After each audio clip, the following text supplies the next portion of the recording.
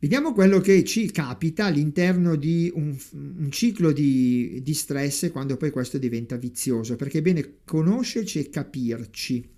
Allora, arriva un pericolo, il pericolo viene avvistato in realtà dall'amigdala, eh, poi ve la faccio vedere, è un affarino, ce ne abbiamo due, due elementi nel nostro cervello a livello limbico, percepisce attraverso i cinque sensi un pericolo che sia reale, cioè che sta accadendo fuori dalla persona o dentro, quindi che se l'ha immaginato, perché è una scadenza che sta terminando, deve parlare con una persona che gli mette soggezione, tutto questo e l'amigdala non lo vede in maniera intelligente, ma lo reagisce come uno stress, un pericolo. Arriva quindi questo segnale all'amigdala che potremmo dire che è la centrale eh, elettronica delle nostre emozioni e non solo, produce una classe di... Eh, elementi eh, che si chiamano corticotropine, quindi dei, degli ormoni, che cosa fanno? Queste si muovono, fanno raggiungere l'informazione attraverso il modello spinale dietro le ghiandole surrenali e queste ghiandole che stanno proprio dietro ai reni producono adrenalina e glucocorticoidi, che sono due, le due classi di ormoni che ci servono per fronteggiare proprio lo stress. Questi ormoni dove vanno ad agire? Sui muscoli, quindi facendo passare più sangue, rendendoli più tonici, sul cuore, quindi facendolo pompare ancora di più e sui polmoni perché devono ingaggiare più ossigeno. Tutto questo viene chiamato attacco o fuga, fight or flight e, eh, è tutto. Fino al punto numero 7 va tutto bene. È chiaro che quando diventa cronico, cronos, cioè si ripete nel tempo, il ciclo va in loop e ci stressiamo per qualsiasi cosa ci accada durante il giorno, è chiaro che ci inquiniamo di ormoni che non dovrebbero girare, è chiaro che a livello psicologico cominciamo a eh, deperire. Qui vedete, ma giusto solo a, per fine così eh, didascalico, il cervello, vedete lì nella fase in alto a sinistra l'amigdala, quell'affarino. Amigdala da greco vuol dire mandorla, la vedete nella, nella, nella foto blu, quel, quella mandorla eh, rosa, eh, quella è l'amigdala, ne abbiamo una dalla parte sinistra e una dalla parte destra del cervello, riceve gli segnali di pericolo attraverso, attraverso, i cinque sensi, manda un segnale a midollo spinale, questo scende, vedete qua sopra di me i due reni e quelle due ghiandole gialle sono appunto le ghiandole surrenali che producono adrenalina e eh, glucocorticoidi. Allora, proseguendo, proseguendo cosa abbiamo? In condizioni normali l'ansia può in effetti costituire una reazione fisiologica opportuna volta a mobilitare le risorse di ognuno di noi in rapporto agli stimoli e circostanze reali, l'ansia però non deve, non deve diventare cronica anche, anche lei, no? Quindi l'ansia va bene perché mi sta dicendo guarda che adesso devi reagire. Eh? Quando poi l'ansia non, non ha come ritorno l'azione, è chiaro che si rischia di andare in depressione. Quando l'ansia raggiunge livelli di intensità eccessivi, quindi, non è più funzionale al superamento di ostacoli.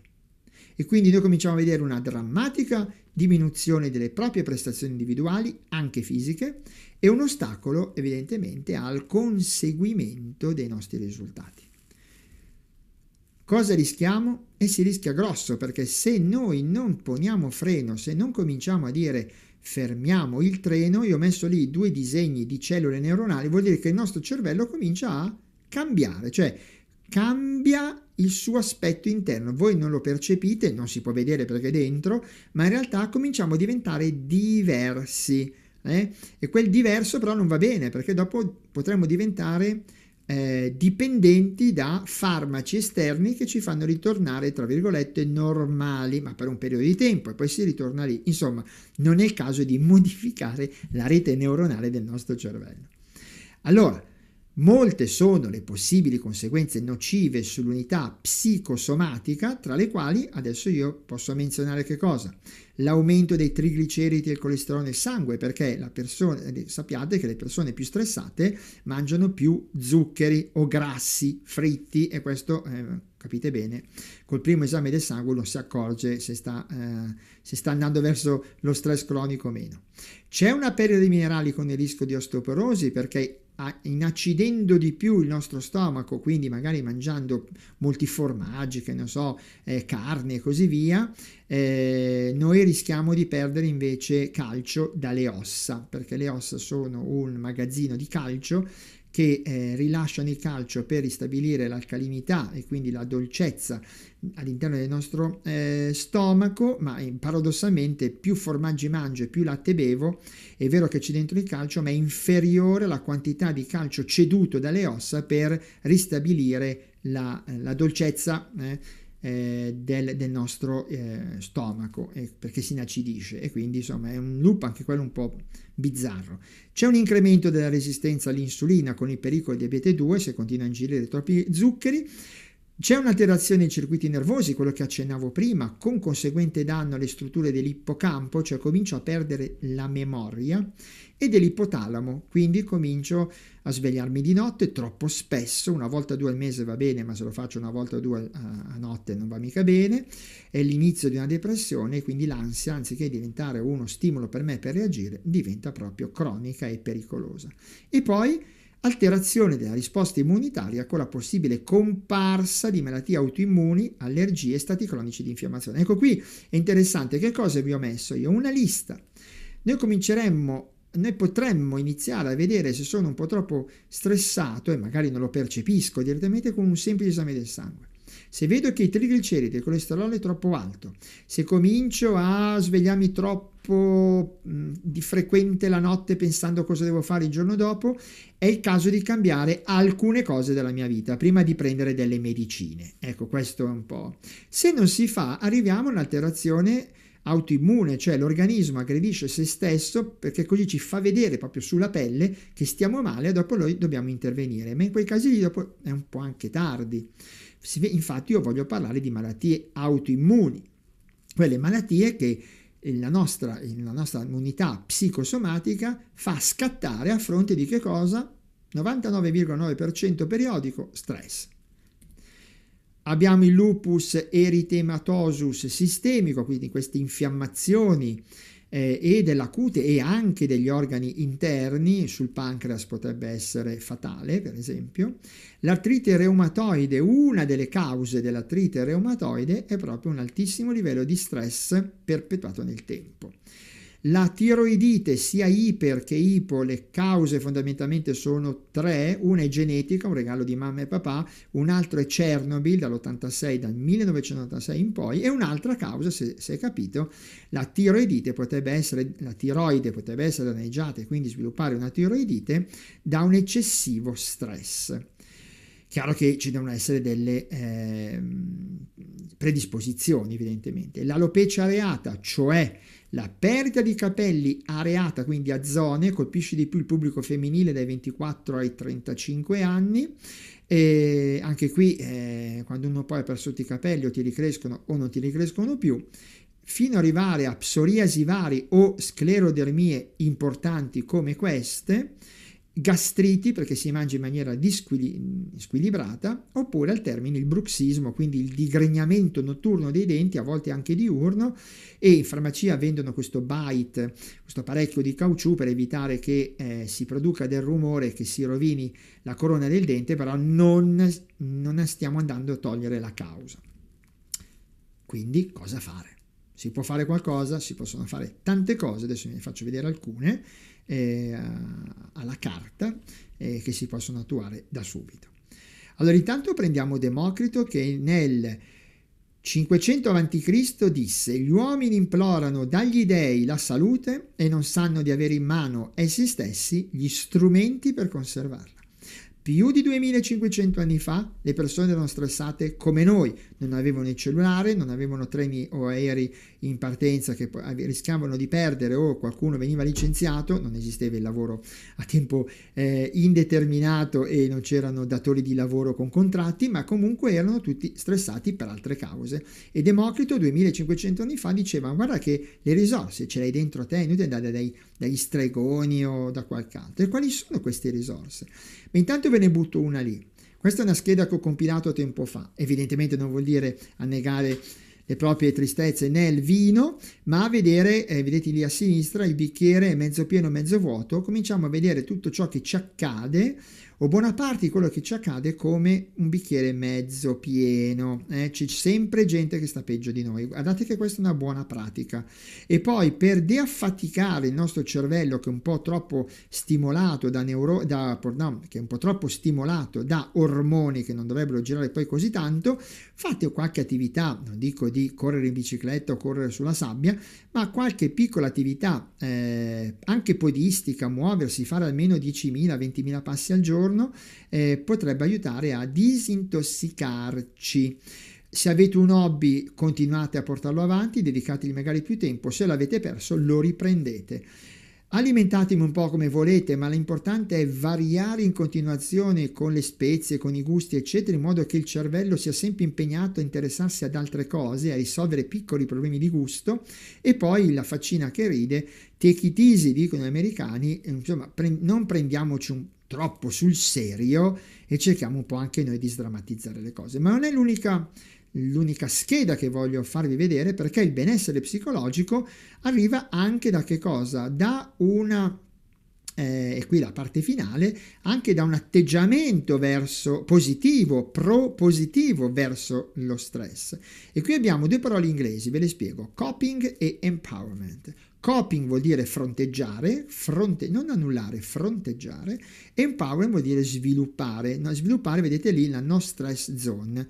Allora, per fare questo cosa bisogna fare? Soprattutto il coping, perché poi eh, l'empowerment, quindi lo sviluppo mio per rendere operative le risorse all'interno del contesto sociale, quindi lavorativo, non lavorativo, lavorativo, familiare, genitoriale e così via, avviene se ho fatto bene il lavoro sul coping e quindi andiamo a vederlo. Coping, fronteggiare, fronteggiare lo stress con le caratteristiche interne. Allora, come si fa a fronteggiare lo stress? Noi abbiamo le emozioni e il problema, ok? Noi abbiamo queste due, diciamo così, classi, eh, che noi mh, mm, abbiamo questi due momenti importanti, le emozioni e il problema. Vediamo se a livello emotivo possiamo fare qualche cosa e poi a livello di problema possiamo fare altro. Intanto vediamo a livello emotivo, possiamo attivare delle cose e evitarne delle altre. Eh, le vedete lì scritte, cosa posso attivare dinanzi per fronteggiare lo stress. Posso cambiare prospettiva, posso accettare la cosa, oppure dargli attrib- degli attributi eh, positivi, per esempio la fede per chi crede, oppure ricercare attivamente supporti emotivi esterni, tipo gli amici, i familiari, i colleghi, quello che volete. Quindi a livello emotivo io ho uno, due, tre, quattro, eh, diciamo così, tasti da schiacciare per gestire meglio le mie emozioni all'interno di uno stress che mi sta coinvolgendo oltremodo. Cosa posso evitare? Posso evitare magari eh, l'accettazione, quindi io nego, nego che ci sia questa cosa qua. Per un po' io posso anche pensare che quella fonte di stress non esista. Eh, non è detto che negare non faccia bene, certo non, non fa bene se faccio finta che il problema non esista, per sempre. Posso sospenderlo mi occupo di altro, si chiama disimpegno mentale, oppure vado via lontano un po' da tutti per un tempo utile di concentrazione, si chiama isolamento sociale. Quindi se io do un tempo per disimpegnarmi mentalmente, la cosa può essere utile a livello emotivo, quindi posso o attivare o evitare delle cose. Sul livello del problema posso anche qui attivarmi o evitare. Attivare che cosa? Quattro tasti, eh, quattro leve. La prima posso pianificare e progettare. Ok, questo è il problema, lo ripianifico, lo eh, riprogetto, lo, lo, lo distruggo, lo rimetto insieme, eccetera. Oppure ricercare attivamente supporti operativi. Non conoscevo così a fondo il problema, quindi mi informo, eh, acquisisco f- formazione su questo. Oppure mi oriento al compito, quindi cosa faccio? C'è un problema? Bene, allora esercito tutte le mie eh, energie e risorse a come devo svolgere questo compito. Vedete, questa è una parte ancora più operativa. No? Dimentico il fatto che c'è, ok, come lo risolvo, punto chiuso fine. Oppure altri colgono la sfida. Va bene, la vita mi pone di fronte a questa cosa qui, non faccio finta di vederlo, colgo la sfida, vediamo se posso farlo da solo, con l'aiuto di qualcuno o avendo più informazioni. Cosa posso evitare? Fondamentalmente due cose. Evito, posso evitare il problema se lo stress in quel caso lì è altissimo, penso a un lutto per esempio, Oppure posso fare quella che viene chiamata desistenza comportamentale, non mi faccio agganciare dalla situazione, cioè se un amico, un'amica, chiunque dice allora com'è andata con quello? e voi dite no a posto, eh, però che sfortunato che sei stato, proprio a te doveva capitare, ecco allora in quel caso lì devo desistere il comportamento, quindi saluto l'amica e l'amico, ciao ci vediamo un altro giorno perché tu sei un elemento per me in questo caso qui negativo e che non mi aiuti a superare la cosa. Quindi le strategie di evitamento sono da considerare migliori dinanzi ad eventi con impatto emotivo molto intenso, ho citato prima il lutto, la perdita di una casa, la perdita del lavoro, ma sono da utilizzare a breve termine, dopo però bisogna ritornare in pista. Poi occorre passare a quelle attive che abbiamo visto prima. Nella gestione del tempo le tipologie migliori sono quelle di tipo attivo e quindi qua c'è l'atelier gestione del tempo che ne parla in maniera anche abbastanza approfondita. Cosa dobbiamo fare? Eh, allora siamo alla fine, dobbiamo cercare la medaglia del rovescio, non il rovescio della medaglia. Dobbiamo riposizionarci in maniera competitiva con noi stessi dinanzi al problema che ha generato lo stress. E quindi colgo l'opportunità insite nella criticità. Come il mio piccolo gattino Aragon cercava di raccogliere un po' di, presumo se ben ricordo, del, del mais all'interno della eh, ciotolina, con un po' di fatica evidentemente, ma quella criticità mi dava la possibilità di mangiare qualche cornflakes in più. Quindi cogliere le opportunità insite nella criticità piuttosto che rimanere a contemplare proprio il rovescio della medaglia e dire ah come sono sfortunato, capitano tutte a me, io cosa ho fatto nella vita precedente di male. Cosa posso dirvi e cosa possiamo dirci? Facciamo così, guardiamo questi due giovani e diciamoci che la vita dovrebbe essere una vita ben vissuta e dietro di me c'è scritto e basta. Buona giornata a tutti e a tutte.